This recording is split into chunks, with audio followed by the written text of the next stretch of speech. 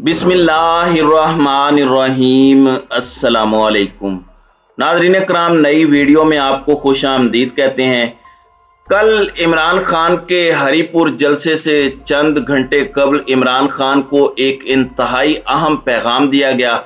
इमरान खान को कुछ मशवरे पहुँचाए गए और इमरान खान के सामने टेबल्स पर कुछ ऑप्शंस रखे गए। और ये सब कुछ एक ऐसे वक्त पर हो रहा है जब इमरान खान की मुख्तदर हलकों के साथ कशीदगी अपनी इंतहा की तरफ़ जा रही है। पॉइंट ऑफ़ नो रिटर्न पर या तो जा चुकी है या फिर बिल्कुल वन स्टेप अवे है। इमरान खान साहब स्टैब्लिशमेंट के साथ पॉइंट ऑफ़ नो रिटर्न पर जाने के लिए। इस सारे मामले के अंदर कुछ डिवेलपमेंट्स हैं और इस्टेब्लिशमेंट के कासिद ने एक बहुत बड़ा दावा किया है। इस हवाले से भी कुछ तफसीलात आपके सामने रखनी है। और कुछ और भी डिटेल्स हैं। सबसे पहले तो शेख रशीद के हवाले से खबर सामने आई है कि शेख रशीद की गिरफ्तारी के लिए जो माहौल बनाया जा रहा है, उस हवाले से अदलिया ने भी पुलिस को एक बड़ा हुक्म दिया है और जितने पाकिस्तान तहरीक इंसाफ के रहनुमा हैं, मैं पहले बता चुका हूँ कि इमरान खान की गिरफ्तारी सिर्फ़ इमरान खान तक महदूद नहीं होगी। सफ़े अव्वल, जो फ़र्स्ट रॉ के इमरान खान की पार्टी के लीडर्स हैं उन्हें भी गिरफ़्तार किया जाएगा, या फिर हो सकता है वो ना गिरफ़्तार हों, बल्कि वो लोग गिरफ़्तार हों जो वोकल हैं। वो लोग गिरफ़्तार हों जो बोल रहे हैं। जिस तरह से बोखलाहट में जो इस्लामाबाद वाली रैली थी, उसमें तमाम तर रहनुमाओं पर यहाँ तक कि इमरान खान साहब पर मुकदमा दर्ज हुआ, दफ़ा 144 की खिलाफ वर्जी का। यहाँ तक कि असद उमर, जो लाहौर में मौजूद थे, उन्हें वहाँ पर दिखाया भी गया, लेकिन यहाँ पर इस्लामाबाद में 144 की खिलाफ वर्जी करने पर उन पर भी मुकदमा दर्ज हो चुका है। शेख रशीद एक ऐसा किरदार जो पाकिस्तान की हिस्ट्री में हमेशा पाकिस्तान की इस्टेब्लिशमेंट की साइड पर नज़र आए हैं। शेख रशीद खुद दावा करते थे कि उनकी पार्टी तो इस्टेब्लिशमेंट की पार्टी है। वो वहाँ पर जाने का दावा करते थे। गेट नंबर चार के हवाले से भी नॉलेज रखते हैं और एक परसेप्शन पाई जाती थी कि जिस तरफ़ को शेख रशीद हों समझ लें कि इस्टेब्लिशमेंट का मिजाज भी वही है। लेकिन रिसेंट टाइम में जहाँ पूरे का पूरा पावर डायनामिक्स बदला है, इमरान खान की पॉपुलैरिटी की वजह से, वहीं शेख रशीद ने भी सबको सरप्राइज़ किया। मैं उनसे जाती तौर पर यह एक्सपेक्ट नहीं कर रहा था, लेकिन उन्होंने यहाँ तक कहा कि मेरी इदारों से कोई लड़ाई नहीं। लेकिन अगर इमरान खान और इदारे आमने सामने भी आए तो मैं इमरान खान के पीछे खड़ा रहूँगा। तो ये बड़ी सख्त और इम्पोर्टेंट बातें हैं। ये बड़ा बोल्ड स्टैंड है। जो इमरान खान की अपनी पार्टी में बैठे सबसे सीनियर लोग, जो अपॉर्चुनिटी के इंतज़ार में बैठे हैं कि इमरान खान नाअहल हो जाएँ, इस तरह का बयान वो भी नहीं दे सकते।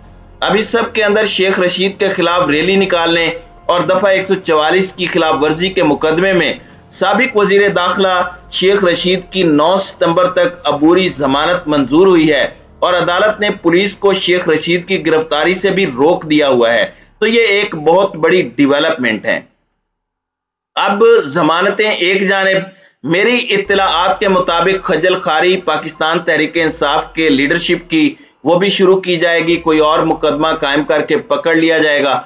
लेकिन इमरान खान से पहले मुराद सईद हैं, फवाद चौधरी हैं, अली मोहम्मद खान हैं, कासिम सूरी हैं, शेख रशीद, फैसल जावेद का नाम आ रहा है। इस तरह के लोग जो डटे हुए हैं महाज पर, जो खुलकर इमरान खान का साथ दे रहे हैं, उन्हें भी पकड़ा जा सकता है।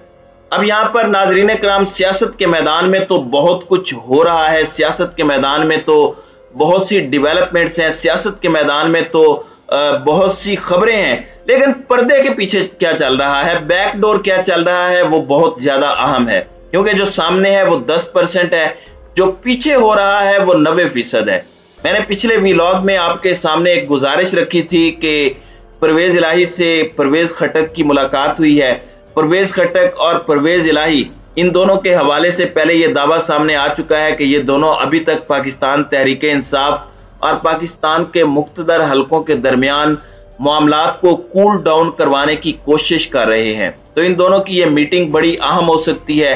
एक नई एफर्ट का आगाज़ इस वक्त एक्सपेक्टेड है। लेकिन यहाँ पर एक चीज़ बड़ी वाजे है और ये चीज़ पाकिस्तान तहरीक इंसाफ के सर्कल्स भी तस्लीम कर रहे हैं और दूसरी साइड भी मान रही है जो रियलिटी है, जो ग्राउंड फैक्ट है कि हालात बहुत ज़्यादा खराब हैं। और इमरान खान और इस्टेब्लिशमेंट के दरमियान जो तलखियाँ हैं, वो बहुत बढ़ चुकी हैं और मामला अब डायरेक्ट कन्फ्रंटेशन की तरफ़ जा चुके हैं।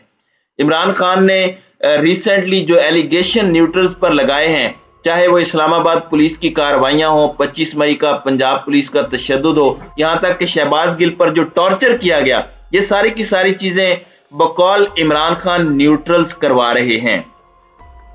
नाजरीन कराम सब ये चीज़ जानते हैं कि इस वक्त इमरान खान को माइनस करना किसी के बस में नहीं है, क्योंकि इमरान पाकिस्तान की सबसे बड़ी जो इस्टेब्लिशमेंट है, पाकिस्तान की जो अवाम है, जिनका इमरान खान लाडला है, वो इस वक्त इमरान खान को माइनस नहीं होने देंगे।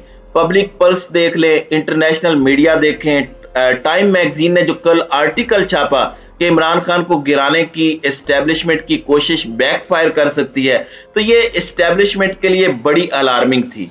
अब इस सारे मामले में एक खुश आइंद बात यह हुई है कि एक नई एफर्ट लॉन्च की गई है और पीटीआई के अंदर से ही एक ग्रुप है। इमरान खान के खैर खाहों का एक ग्रुप है जो इस चीज़ को एड्रेस करने के लिए सरगर्म हो चुका है कि इमरान खान इस्टेब्लिशमेंट की तरफ़ बहुत खुलकर डायरेक्ट कन्फ्रंटेशन की तरफ़ ना जाए।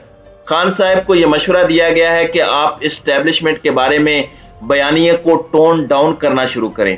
और बातचीत का दरवाज़ा जिस पर आपने ताला लगाया हुआ है, आप उस ताले को भी खोल दें।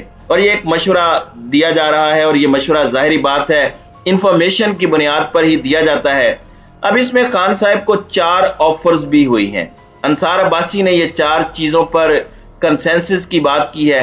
Economy electoral reforms election commission की तब्दीली और नवंबर की तैनाती पर भी अगर अंडरस्टैंडिंग हो जाए सबकी तो ये बड़ा इंपॉर्टेंट है। और अगर नवंबर की तैनाती पर अंडरस्टैंडिंग डिवेलप हो जाए तो ये एक बड़ा अहम इश्यू बन जाएगा और इससे एक बहुत बड़ा मामला एक बहुत बड़ा इशू टल सकता है। और इन चार चीज़ों पर मामला तय कर लिए जाते हैं। तो इसमें इमरान खान की जीत है। इमरान खान के लिए ये विन विन सिचुएशन है। बस डायरेक्ट कन्फ्रंटेशन को अवॉइड किया जाए क्योंकि वो दोनों फ्रीकैन के, के हक में नहीं है। हकूमती इतिहादियों को अगरचे इस कन्फ्रंटेशन का फ़ायदा है। और ये बात दोनों स्टेक होल्डर्स को भी पता है। यानी जिन्हें लड़वाया जा रहा है, उनको भी पता है। अब अंसार अब्बासी ने यह बात भी की है कि इमरान खान अगर इसी तरह इस्टेब्लिशमेंट से लड़ते रहे तो इसका फ़ायदा भी पीडीएम या हकूमती इतिहाद को होगा। वो एक साल की मजीद एक्सटेंशन जनरल बाजवा को दे सकते हैं। According to the law which PTI and all the opposition parties voted for यानी जिसके लिए सबने वोट किया था उसके तहत एक साल की एक्सटेंशन दे, देकर मामला को खराब करने का एक ऐसा बीज बो सकते हैं जो हालात को खराब कर दे। अब इतिहादी मेरी जाती राय है कि वो इस वक्त नहीं चाहते होंगे कि इमरान खान की लड़ाई रुक जाए। लेकिन इसमें पीटीआई का, मुल्क का और पाकिस्तान के इदारों का बहुत नुकसान है और खान साहब को भी ये मैसेज दिया गया है कि इसमें आपका नुकसान है और आपके मुखालफी का इस पूरी की पूरी सिचुएशन के अंदर फ़ायदा ही फ़ायदा है, उनके वारे न्यारे हैं। तो ये एक डेवलपमेंट थी जो आपके सामने रख दी है। खान साहब के जलसे के हवाले से भी कुछ चीज़ें हैं जो इनशाला मैं अपने अगले व्लॉग में आपके सामने रखूँगा। तो नाजरीन कराम आपकी इस वीडियो के हवाले से क्या राय है? अब अपनी राय का इजहार कमेंट सेक्शन में ज़रूर कीजिएगा।